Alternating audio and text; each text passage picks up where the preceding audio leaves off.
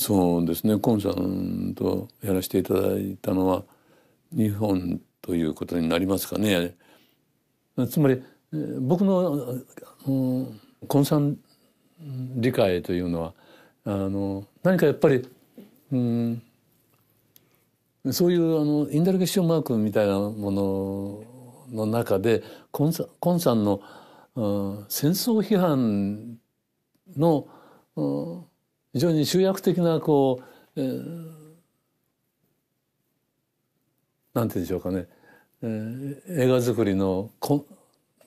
その根底に映画なんて難しいことなんですけどコンさんの根底の中に反戦というかそういうなんか意識があってビルマの建て事をお取りになったんではないかという理解程度しかなかったですね。非常に斬新な形でこの戦争に対する無意味さというものをですね、えー、大きなあの反響としてあの時代の人たちに呼び覚まさし呼び覚ましているものであると思うんですだから、ね、そういう意味では効果的でもあったし一つの大きなやっぱり、えー、なんて言うんでしょうかね演出家としてやっぱり指折り数えることがで今どうか知りませんよ。うん、でも僕らの世代としては5本の指の中に入る立派なあの映画だという。映画の意味を、うん、こう内蔵しているもので影響力も大きいと思うんです。今までやってきた木下さんとかそういうその後そうですね。もうすでに山本さっちゃん先生とこういう映画の作り方もあるのかなというふうに、えー、非常にあの僕はああの他の監督さんは雰囲気を非常に大事にするわけですね。市川さんは雰囲気なんかどうでもいいとにかくもう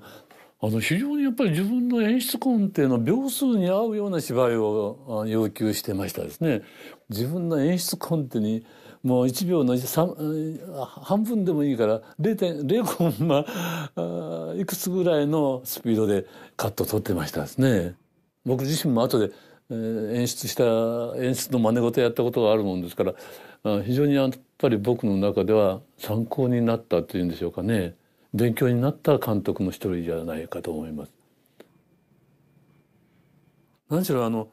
ビルマンの建事で印象に残るのはミッチェルでっかいのシンクロであのロケに持ってったんですよね。で小田原で撮ったりあっちが箱根山のあの硫黄谷で撮ったりいろいろしたんですけどね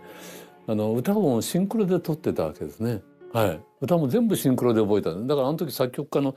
伊福部さんの声が僕の声に似てたんです。それで伊福部さんがつきっきりになって僕に歌を教えてくれたわけですね。歌なんか軍歌しか知りませんからね僕なんか。買ってくるぞといいさ回しくるしか知らない今でもそれしか歌えないぐらいなんですからね。かなか覚えられない覚えられないのに、まあ、とにかくまあ一生懸命もうタクトあのキャメラ前で福部さんがこう振ってくれましたねそれに合わせて歌あ、えー、羽生の宿なんか歌うわけです。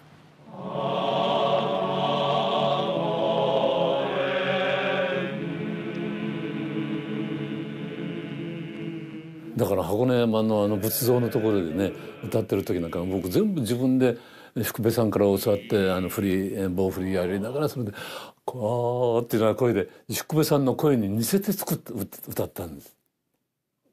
それが後で福部さんのところは10秒間でやめちゃいま切っちゃって、えー、僕の声とそのまんまあの入ったわけですねあのフィルムの中で生きたわけです。あのリズムがまた敗戦の意識をより向上させていくんですね。歌で向上させるっていうのはやっぱりこれも僕は市川崑っていう人の才才能じゃないかと思ったんですね。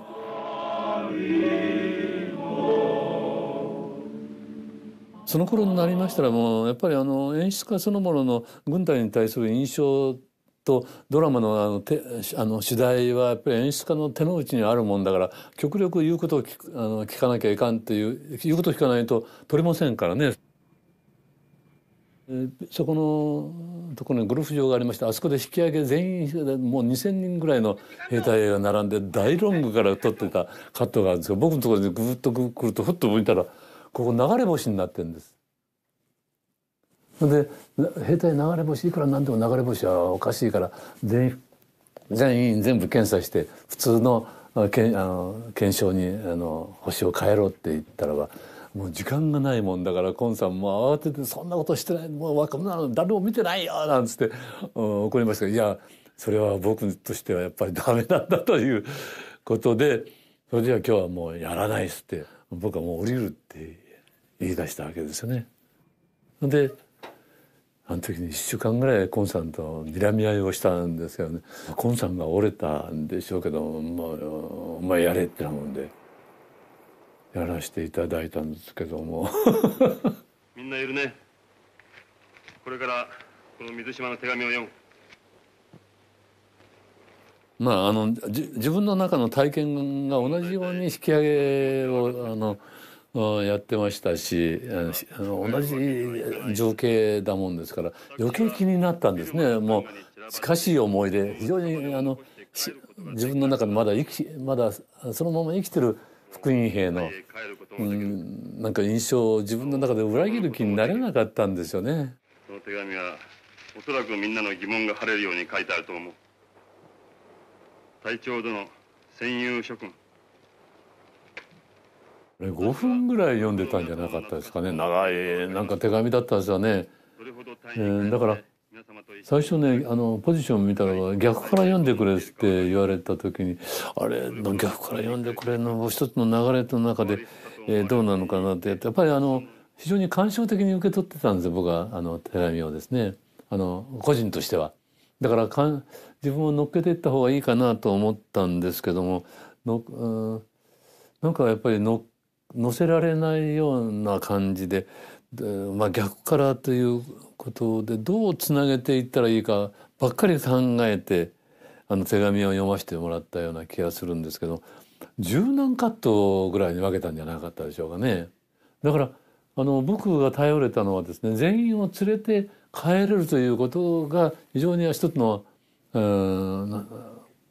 こうどういうふうに言ったらいい？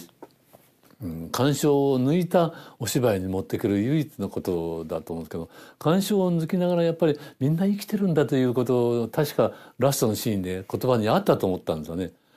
あそこはねやっぱり胸が熱くなったですよね。でもそれぐらいは仕方ないだろうと思ってそういうふうにあの自分が指揮官としての任務を果たすということに結びつけていけばそのぐらい涙ぐんでもいいんではないかなと喜びっていうんじゃなくてまああ感傷的になってもいいんではないかなと思ったんですよね。今日ついに心乱れエースの誓いも忘れ盾事を敷きました。お別れの曲を皆様に聴いていただきました。いよいよ諦めもつきました。いやあの僕の芝居っていうのは非常にあの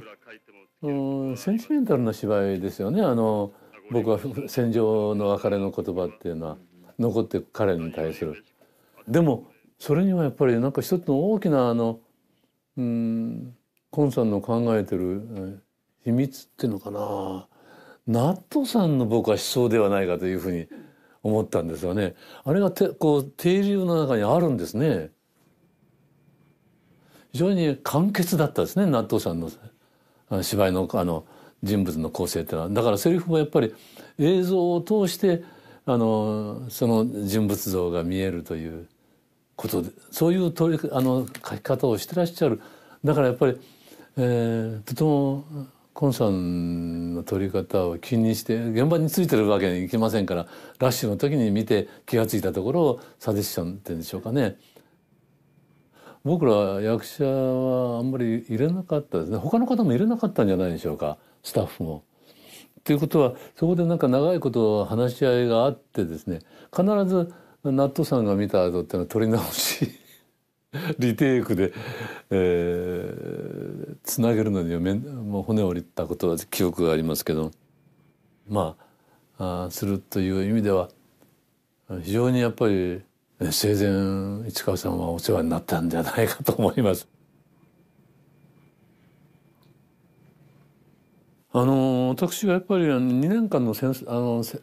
争体験がありますから戦争のあの無残さということですかね。殺し殺されるあのこう最前線の認証とかですね。それからもう、うん、なんて言うんでしょうか。訓練の時に現地教育ですから現地教育でまあ動物を殺したりなんかして銃剣術やるわけですけどね。まあ本当は人間も殺し捕虜も殺してるんですよね。僕はそれができなかったんですよね。突っ込めって言うんで訓練を受けていくんですけど前まで行ってもうダメになっちゃうんです。何故にということは所詮人間にはいかに考えてもわからないことなのだ。我々はただこの苦しみの多い世界に少しでも救いをもたらすものとして行動せよ。僕はこうこういうあの映画を通してですねやっぱりもっと日本人がこれはもう現代の人たちにしか僕は呼びかけられないんですけどもっとやっぱりあの殺し合い戦争という殺し合いに対して真実な論争をですね繰り返し繰り返し続けていかないともう悲惨な繰り返しがもう目前に迫ってるような気がするんで何しろねあの殺し合いという無意味さを早く自覚してほしいですね次の世代の男の子。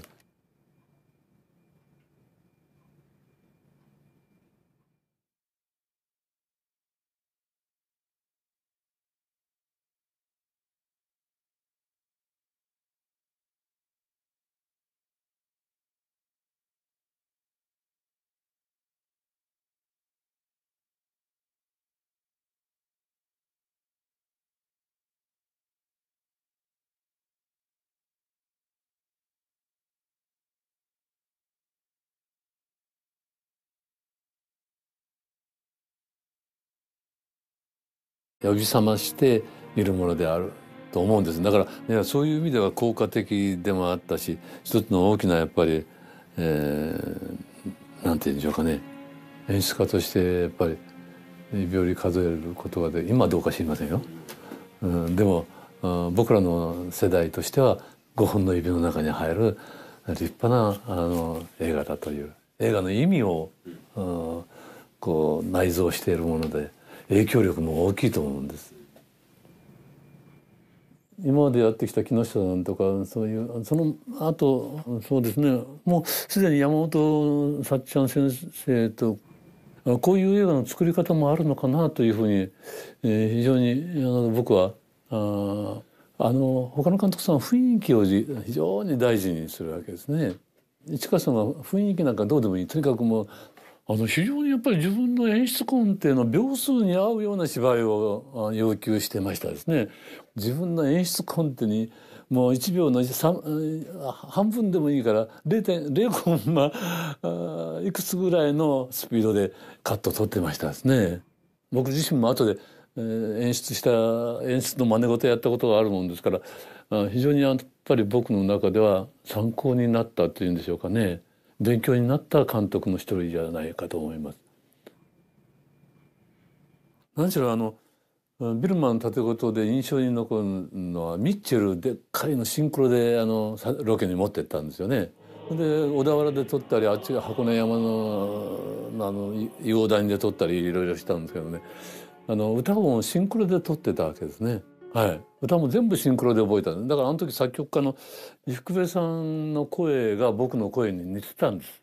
それで、えー、伊福部さんが付きっきりになって僕に歌を教えてくれたわけですね。歌なんか軍歌しか知りませんからね。僕なんか「家庭来るぞ」といいさ「マーシク」しか知らない。今でもそれしか歌えないぐらいなんですからね。かなか覚えられない覚えられないのに、まあ、とにかくまあ一生懸命もうタクトあのキャメラ前で福部さんがこう振ってくれましたね。それに合わせて歌あそうですね。コンさんとやらせていただいたのは日本ということになりますかね。つまり僕の、うん、コンさん理解というのはあの何かやっぱりうん。そういうあのインダルゲッションマークみたいなものの中でコンさコンさんの、うん、戦争批判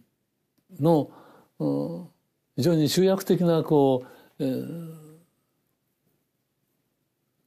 なんて言うんでしょうかね、えー、映画作りのこその根底に映画なんて難しいことなんですけどコンさんの根底の中に反戦というかそういうなんか意識があってビルマの建て事をお取りになったんではないかという理解程度しかなかったですね。非常に斬新な形でこの戦争に対する無意味さというものをですね、えー、大きなあの反響としてあの時代の人たちに呼び覚まさし、えー、羽生の宿なんか歌うわけです。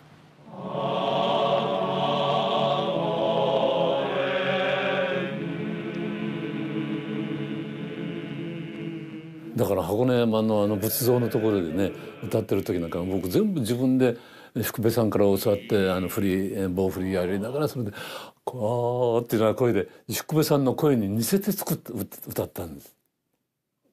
それが後で福部さんのところは10秒間でやめちゃい切っちゃって、僕の声とそのまんまあの入ったわけですねあのフィルムの中で生きたわけです。あのリズムがまた敗戦の意識をより向上させていくんですね。歌で向上させるっていうのはやっぱりこれも僕は市川崑っていう人の才才能じゃないかと思ったんですね。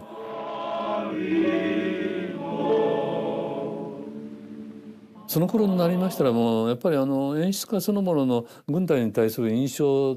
とドラマのあのてあの主題はやっぱり演出家の手の内にあるもんだから極力言うことを聞あの聞かなきゃいかんっていう言うことを聞かないと取れませんからね。